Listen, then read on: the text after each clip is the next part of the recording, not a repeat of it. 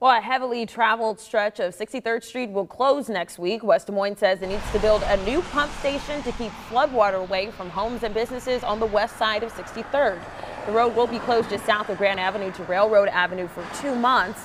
Drivers are asked to detour around 63rd by taking Grand Avenue to Railroad and then back over to 63rd Street.